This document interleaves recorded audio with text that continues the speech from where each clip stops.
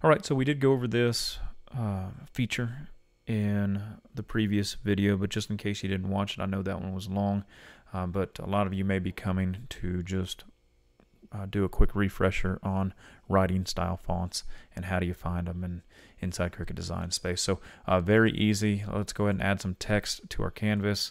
And I'm just going to go ahead and type it right here. There's Scrappy Dew. Let's go ahead and bring this up.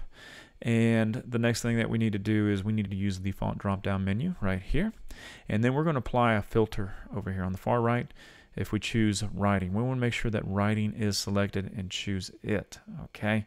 Now I already done it. So that's why it sees it like a little gray dot right there. So uh, every single font that is now in this list does have a writing style to it, which means it's a single line. Okay. Uh, obviously, you can do a search for the font that you'd like. Uh, I do like uh, this one, which is the Baby Steps. So let me go ahead and click it. So that's where you find the writing style. Obviously, we, we talked about this before in that other video. Uh, you can adjust the spacing on here. Um, however, it does start to get a little cramped.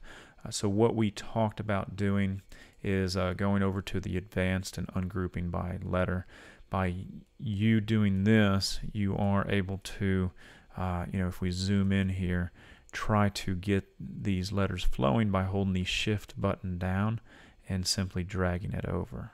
Okay, so uh, you do that with, with each one of them if you do have some type of uh, cursive font that uh, you're trying to stick with. So once you have them all lined up the way that you the way that you need and the spacing correct, uh, you just simply keep on clicking and then moving the group all together. But you want to hold that shift button down because we, we talked about this earlier with the welding is, uh, you know, if you hold the shift button down, you are constrained in a, in a certain direction. So if I move left and right, it's going to stay in, in a perfect line there for us so that it does all look like it is going to be one unit here. So that is how you would do that uh, once everything's all all said and done.